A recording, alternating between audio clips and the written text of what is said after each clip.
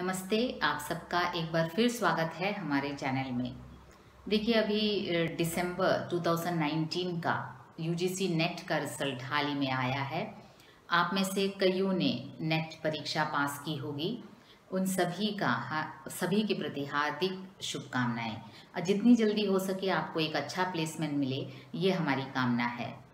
लेकिन नेट के बारे में जब भी चर्चा होती है मेरा मन हमेशा उनके प्रति आकर्षित होता है, जो नेट क्लियर नहीं कर पाए। क्यों क्लियर नहीं कर पाए? हमारी प्रिपरेशन में क्या कमी रह गई? क्यों ऐसा होता है कि बड़ी लगन करने के बाद भी हम नेट क्लियर नहीं कर पा रहे हैं? ये चिंता का विषय है। और देखिए, हमारे पास दुखी होने के लिए भी टाइम नहीं है। जून 2020 का जो नेट है, हमें क्लियर करना है। और उसके लिए हमें एक्शन प्लान बनाना है स्ट्रैटेजी बनाना है, पढ़ने का तरीका बदलना है और रिवाइज करना है। तो हम जो लगन करते आ रहे हैं, ये हमें देखना है, चीर फाड़ करके ठंडे दिमाग से सोचना है कि जो हमने मेहनत की है, आप लोगों ने ज़रूर मेहनत किया होगा, कईयों ने कई बार लिखा होगा, लेकिन क्यों नहीं मिल रहा? पेपर वन में कोई कमी रह गई है या फिर हमारे सब्जेक्ट में? मैं ये विश्वास करती हूँ कि कोशिश करने वाली की कभी हार नहीं होती। आपको लगेगा कि मैडम को ये कहना आसान है, हम कब से कोशिश किए जा रहे हैं, लेकिन हम तो हारते ही जा रहे हैं। अगर यू यूजीसी नेट और मेरी पर्सनल ज़िंदगी का एक छोटी सी कहानी आप सुनेंगे तो आप एकदम समझ जाएँगे कि आपको हौसला दिलाने के लिए मैं एकदम सही व्यक्ति हूँ। हुआ यूँ कि 1994 अभी से करीब 25 साल पहले, मैंने पीजी किया। पोस्ट ग्रेजुएशन में रैंक होल्डर थी तो बड़ा कॉन्फिडेंस था कि नेट तो मुझे क्लियर करना ही है, किसी भी हालत में। बीएससी में मैंने केमिस्ट्री लिया था तो फिर मेरा मैथ्स और इंग्लिश ओके था, ऐसे मुझे लगता था। इसलिए पेपर वन के बारे में मैं ज़्यादा चिंतित नहीं थी। एक बार लिखा, दो बार लिखा, कई बार लिखा, इतने सारे बार मैंने लिखा कि मुझे नेट नहीं मिल रहा था। बहुत परेशान हो गई, बहुत दुखी हो गई। क्यों नहीं मिल रहा? कई बार मुझे लगा कि इस बार तो मिल जाएगा, लेकिन नहीं मिला। और उन दिनों 25 साल पहले की बात हो रही है कि हिंदी केरल में हिंदी में नेट मिलने वाले बहुत ही कम लोग थे। लेकिन फिर भी मिलता था, एक या दो लोगों को मिल जाता था। और मैं पूरी कोशिश कर रही थी, मैंने अपना लगन से पूरे सिलेबस के अनुसार नोट्स बनाया पूरे बुक्स को मंगाया। देखिए, उन दिनों आज की तरह फ्लिपकार्ट और अमेज़ोन वगैरह नहीं था। कोई भी अंकल दिल्ली वगैरह जाते थे तो मैं कहती थी नेट के लिए कोई भी बुक हो तो प्लीज़ मुझे ख़रीद के दीजिए। और उस समय क्या था कि उपकार वाला बुक जो अभी भी मार्केट में उपलब्ध है वही पब्लिशिंग मिलता था।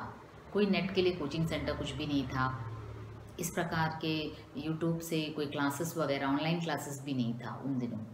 लेकिन मैं पूरी कोशिश कर रही थी। और ज़िंदगी में और बहुत सारी चीज़ें हो रही थी, जैसे मैंने बीएड किया एमफिल किया पीएचडी किया, नौकरी भी लग गई कॉलेज में, लेकिन नेट नहीं मिला। तो ये मैं बहुत दुखी और परेशान हुई। इतनी मैं कोशिश कर रही हूँ, इतनी मेहनत कर रही हूँ। इस बीच शादी हुई, बच्चे हुए। तो फिर मैंने 2000 तक आते आते मैं, मैंने ये हौसला छोड़ दिया कि मुझ, शायद मेरे नसीब में नेट नहीं है। और मैंने अपने पूरे नोट्स को, जो मैंने बड़ी लगन से पेपर टू और पेपर थ्री उन दोनों, दो पेपर हुआ करते थे, हिंदी के लिए ही, मैंने उन सभी नोट्स को एक पब्लिशर के पास दिया और उसे पब्लिश किया। और ये 2002 में इस रूप में सामने आया, ये नेट सेट वालों के लिए। मैंने सोचा किसी को अगर, क्योंकि ये मैंने बड़ी लगन से मैंने ये प्रिपेयर किया था नोट्स कई प्रीवियस क्वेश्चन पेपर्स थे. तो फिर मैंने सोचा, अगर और किसी को ये हेल्पफुल हो तो हो जाए, और मैंने अपना नेट का चैप्टर क्लोज कर दिया. लेकिन दस साल बाद 2012 में एक शिव कुमार सर हैं यूनिवर्सिटी कॉलेज ट्रिवांड्रम के हिंदी विभाग अध्यक्ष रह चुके हैं और रिटायरमेंट के बाद वो केरल विश्व जो केरल प्र, हिंदी प्रचार सभा है उनसे कनेक्टेड थे और उन्होंने मुझे बुलाया देखो सोफ़ी यहाँ नेट के कोचिंग के लिए आ जाओ। तो मैंने कहा सर मैं इसके काबिल नहीं हूँ मैं खुद ही नेट पास नहीं हूँ। तो सर ने कहा नहीं सोफ़ी तुमसे हो जाएगा तुम आ जाओ उपन्यास वाला भाग ले लो आधुनिकता के बाद वाला। उस समय मेरी बेटी टेंथ स्टैंडर्ड में थी और मैं चालीस साल की थी। तो उस समय मुझे लगा कि देखो, मेरा धार्मिक ये बनता है कि अगर मैं नेट में कोचिंग दे रही हूँ छात्रों को तो क्यों ना मैं एक बार फिर नेट लिखूँ अपने बच्चों के साथ, अपने छात्रों के साथ। और उस समय 2013 में मैंने नेट अटेम्प्ट किया और ये वाला सर्टिफिकेट ये जो मेरा नेट का सर्टिफिकेट है, आप देख रहे हैं, ये 2013 का है। ये मेरे लिए सबसे प्रिय सर्टिफिकेट है। मैंने ज़िंदगी में एकेडमिकली और बहुत कुछ भी चाहे हासिल किया हो, अगर किया भी हो। मुझे यूजीसी का रिसर्च अवार्ड मिला था, वो मेरे लिए बहुत अज़ीज़ है, लेकिन ये वाला सर्टिफिकेट मैं कभी नहीं भूल सकती मेरी ज़िंदगी में। तो मैं ये नहीं कह रही कि आप लोग भी 40 साल तक वेट करें। आप लोग सही टाइम पे, आपको जून 2020 में ये क्लियर करना है। और हम ठंडे दिमाग से सोचेंगे। देखिए, दुखी होने के लिए हमारे पास टाइम नहीं है। हम ठंडे दिमाग से सोचेंगे कि हमारा कहाँ, क्या कमी रह गई है? उन कमियों को पूरा करके, अपने वीक पॉइंट्स को स्ट्रॉन्ग बनाकर और अपने ऑलरेडी स्ट्रॉन्ग जो पॉइंट्स हैं, उन्हें और रिवाइज करके, अपनी स्ट्रैटेजी को बदल कर एक ऐसा एक्शन प्लान तैयार करेंगे, जिसमें हम पेपर वन के लिए भी टाइम निकालेंगे सिस्टम में भी, कंप्यूटर यूज़ करने में, क्योंकि आजकल ऑनलाइन एग्ज़ाम है, आपको सिस्टम से भी परिचित होना है। और एक सैंडविच तरीके से पढ़ेंगे। सैंडविच मतलब सैंडविच लर्निंग मतलब हार्ड और इसी, इन दोनों सब्जेक्ट्स को मिक्स करके पढ़ेंगे। लाइट रीडिंग के लिए थोड़े पोर्शंस को रखेंगे और डिफ़िकल्ट वाले भाग को लेंगे। तो इस प्रकार सही तरीके से एक्शन प्लान के द्वारा, स्ट्रैटेजी के द्वारा 2020 का जून का जो नेट है, उसे हम फेस करेंगे। देखते हैं आपको कैसा नहीं मिलता है नेट तो देखिए, आपका ये जो नेट का सिलेबस मेरे पास है, और अभी हाल ही में जो 2019 में जो नेट का एग्ज़ाम हुआ था, उसका क्वेश्चन पेपर मेरे पास है। तो हम लोग इसका चीर करते हैं, ठंडे दिमाग से सोचते हैं कि हमारा एक्शन प्लान क्या होना चाहिए जून 2020 के लिए। तो मैंने अपने आपके पूरे क्वेश्चंस के, और मैं, मैंने देखा आपका पूरा क्वेश्चंस एनालाइज किया है, और क्वेश्चन पेपर एनालिसिस आपका अगले एपिसोड में हम देंगे पूरे पेपर टू का। अभी तो एक ही पेपर है हिंदी में तो उसका पेपर एनालिसिस हम अगले एपिसोड में देंगे, शीघ्र ही निकालेंगे। एनालाइज करने पर मुझे पता चला है कि हमारे प्लान में कुछ ऐसा होना चाहिए कि पेपर वन के लिए आपको जो स्ट्रॉन्ग पॉइंट्स जो देखने हैं, जो भी हायर एडुकेशन में हायर एडुकेशन में जो भी नए नए रूल्स आते हैं एक्ट आते हैं, उसका आपको अवेयर होना है। फिर यूजीसी के जो रूल्स आते हैं फिर रिसर्च मेथडोलॉजी रिसर्च ओरिएंटेशन आजकल इंटर डिसिप्लिनरी रिसर्च का बहुत बोलबाला है। यूजीसी उस पर बहुत केंद्रित है। तो उस पर आपको ध्यान देना है। और फिर टीचिंग टीचिंग प्रोसेस उसके जो जो भी हैं आपको देखना है। लॉजिकल रीजनिंग डेटा इंटरप्रिटेशन और सिंपल मैथ्स अपने लॉजिक के अनुसार। तो जैसे हमेशा देखा जाता है यूजीसी के दोनों पेपर्स दो तरीके के होते हैं। जैसे पेपर वन में आपको रटना नहीं है। पेपर वन में आपको मैथ्स स्ट्रॉन्ग होना है, करके देखना है, फिर आपका कॉम्प्रिशन बेसिक जो है इंग्लिश का वोकेबलरी ठीक करना है आपको। इसके लिए आपको ये कि इंग्लिश न्यूज़पेपर पढ़िए डेली और कॉम्प्रिहेंशन हम देख, सोचते हैं कि उस समय देखा जाएगा, लेकिन ऐसा नहीं है। आपका वोकेबलरी आपका शब्द भंडार अगर आपको बढ़ाना है तो निरंतर अभ्यास से ही होता है। तो रोज थोड़ा समय पेपर वन के लिए निकालिए। मैथ्स के प्रीवियस क्वेश्चंस को सॉल्व करना यही काफ़ी है। और टीचिंग में जो क्वेश्चंस आते हैं टीचिंग रिलेटेड वो साधारण, सामान्य रूप से जो टीचिंग प्रक्रिया आप देखते आ रहे हैं, उस सेंस से आपको लेना है। कोई रटने की ज़रूरत नहीं है। लेकिन दूसरी तरफ़ हम देखेंगे, जो सब्जेक्ट वाले में पूरे मेमोरी पर बेस्ड है, रटने पर केंद्रित है, और ख़ास करके यूजीसी इस प्रकार के सवाल पूछते हैं कि किसी रचनाकार के रचनाओं को कालक्रम के अनुसार ये फिजूल की क्वेश्चंस हैं, पता नहीं यूजीसी ऐसा क्यों देती है। ये क्वेश्चन डालने वालों के लिए आसान है। इस साल भी देखो, करीब दस क्वेश्चन तो ऐसे निकल गए, विकास क्रम के, कालक्रम के अनुसार। मेरे मेरे हिसाब से देखें तो किसी रचनाकार के प्रथम और अंतिम को याद करना तो ठीक है, ओके है। उसमें कुछ सेंस बनता है।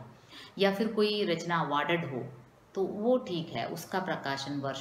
लेकिन ऐसे ही रटना एक साहित्य के छात्र से यूजीसी क्यों ये कामना करती है कि फिजूल का रटना, ये बदलना चाहिए। अगर यूजीसी सजेशंस लेने का कोई सजेशन बॉक्स हो तो मैं भी ज़रूर ये रेस करूँगी। और देखिए, अभी पूरा एनालाइज हमने किया है सिलेबस और देखा है हमने कि ये सिलेबस के मुताबिक था एग्ज़ाम ये हार्ड था, ये आसान था, ये हमने अभी देखा है। और हमने पाया कि देखो इकाई, दस इकाई है आपके सिलेबस में। तो सबसे ज़्यादा वेटेज सबसे ज़्यादा क्वेश्चंस इस बार इकाई दो से आए। जैसे वो हिंदी साहित्य का इतिहास है और उसमें हिंदी साहित्य की गद्य विधाएँ। ये दोनों हैं। ये अक्सर होता है क्योंकि हिंदी साहित्य का इतिहास सबसे इंपॉर्टेंट है। वो पहले भी था।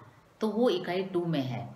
तो आपको सबसे ज़्यादा टाइम इकाई टू पर केंद्रित होना है। वो तो आपको टाइमलाइन के अनुसार सभी कुछ को पढ़ना है। हम्म, शुरुआत से लेकर।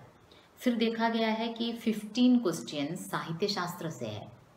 ईस्टर्न क्रिटिसिज्म और वेस्टर्न क्रिटिसिज्म वो अगर आपका वीक होगा तो पढ़ते समय मुझे भी दिक्कत होती थी। साहित्य शास्त्र।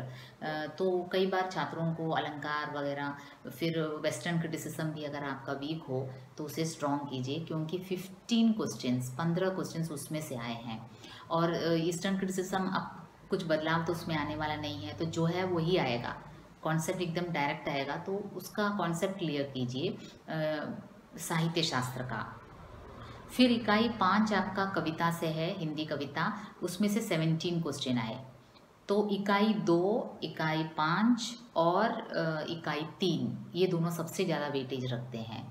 तो फिर कविता वाले। और सबसे कम क्वेश्चन हमने देखा कि इकाई नौ, उसमें से केवल एक ही क्वेश्चन आया है, वो भी निबंध वाले भाग से। और वो भी थोड़ा क्लिष्ट ही था, निबंध संग्रहों का कालक्रम के अनुसार करना। और इकाई दस है, आत्मकथा और जीवनी वाला, उसमें से केवल तीन प्रश्न आए। इतने सारे आत्मकथा जीवनी हैं, लेकिन क्वेश्चन केवल तीन पूछा गया। और क्लिष्ट देखें तो रीजनिंग वाला एसर्शन और तर्क जो देते हैं, वो बहुत ही क्लिष्ट था। मतलब कि वो सेंटेंस समझने में ही वो एक एसर्शन देते हैं और उसका एक तर्क, स्थापना और तर्क देते हैं। तो वो मुझे क्लिष्ट लगा, आपको भी क्लिष्ट ही लगा होगा। जैसे एक तो देते हैं दलित चिंतन और साहित्य में अभिव्यक्त मनुष्य, गांधी का हरिजन ही है। क्या क्वेश्चन दिया है यूजीसी ने? इतना लो स्टैंडर्ड सेंटेंस दिया है, क्योंकि दलित साहित्य में मुख्यतः बाबा साहब अंबेडकर के सामाजिक, राजनीतिक चिंतन को अपनाया गया है। अब ये सही है या गलत है, ये छात्र को देखना है। ये रिसन असर्शन स्थापना तर्क पहले भी पूछा जाता था फोर क्वेश्चंस उसमें से आए हैं। वो बहुत केयरफुली उसे आंसर करना है। क्योंकि गलत होने की संभावना उसमें ज़्यादा रहती है। और फिर देखिए एनालिसिस तो हम अपने अगले एपिसोड में करेंगे, पूरे क्वेश्चन पेपर का एनालिसिस करेंगे। लेकिन एक्शन प्लान हमें बनाना है तो ये देखना है कि कौन कौन से इकाई में ज़्यादा वेटेज है और कौन में कम है। तो इकाई दो, हिंदी साहित्य का इतिहास, आप एकदम मज़बूत कीजिए। वो आपको ज़िंदगी में और भी कॉम्पिटिटिव एग्ज़ाम्स में काम आएँगे। जैसे मैंने कहा, मैंने कई साल नेट के लिए प्रिपेयर किया तो ईश्वर के वहाँ देर है, अंधेर नहीं है। जब मुझे गवर्नमेंट कॉलेज में जॉब की इच्छा हुई और मैंने अप्लाई किया तो फिर पूरे केरल के लिस्ट में मैं थर्ड आई थर्ड रैंक आई। क्यों आई? इसलिए नहीं कि मैं दूसरों से होशियार थी, बस इसलिए कि मैंने कई बार नेट के लिए प्रिपेयर किया और ये सभी मेरे मन में था।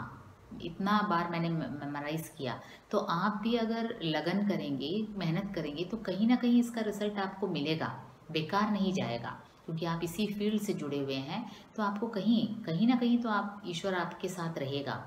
तो 2020 का जून का एक्शन प्लान हमें बनाना है। केवल प्लान बनाना नहीं है, उस पर अमल करना है। बड़ी मेहनत करनी है। पूरी कोशिश करनी है कि आप अपना पूरा स्ट्रेंथ उसमें दें। अपने वीक पॉइंट्स को स्ट्रॉन्ग बनाइए साहित्य शास्त्र पर और ज़ोर दीजिए कॉन्सेप्ट को क्लियर कीजिए। देखिए, अभी गूगल सर्च करने से कोई भी कॉन्सेप्ट आसानी से मिल जाता है।